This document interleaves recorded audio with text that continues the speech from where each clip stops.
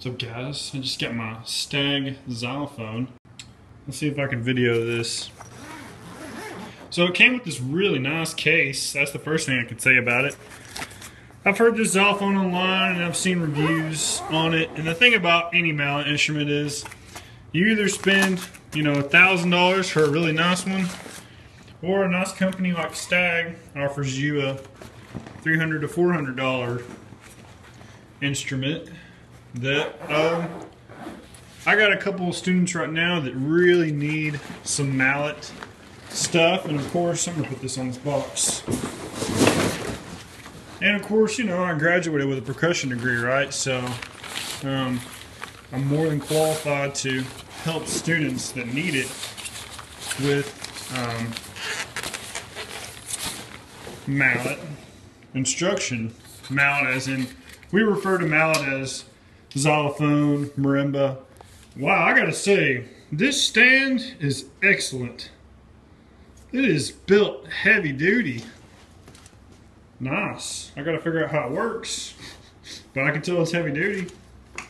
So that's a good sign. I really like this case too, by the way. I'm, I'm liking this xylophone so far, guys. I'm digging it. So, then we have the actual keys.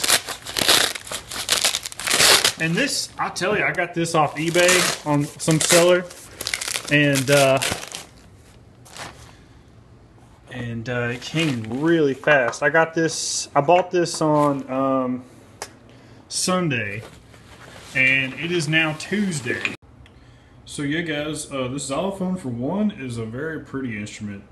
Um, all the bars are nice and straight, um, and if we look at them, they're even cupped like they're supposed to be. Marimbas and xylophones are both cupped. So it's built, I can tell it's built well. Um, since it's new, it's got really good intonation, really good, nice pitch.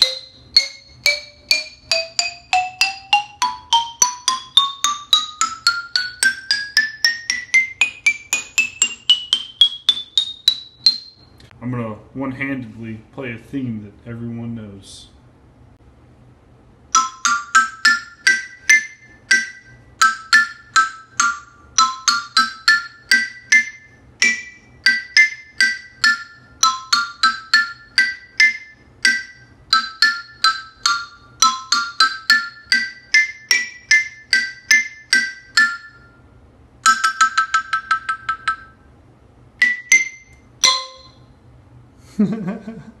There's the lowest bar.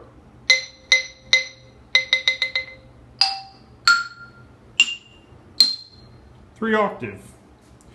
And unfortunately right now I have to put it on top of my guitar cabinet thing. I'm kind of outgrowing this studio, but for now, it's what I got.